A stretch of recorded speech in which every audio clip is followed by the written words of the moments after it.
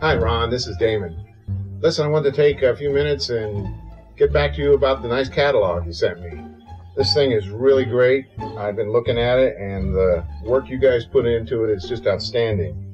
And I just know that all Jeep enthusiasts are really going to appreciate this and help further the hobby. So, again, thank you so much for sending this. It's fantastic. I can't put it down. What? Oh, you know what? We're out of toilet paper. So? Ooh. Yoink. Sorry, Ron. Um, could you send me another one, please?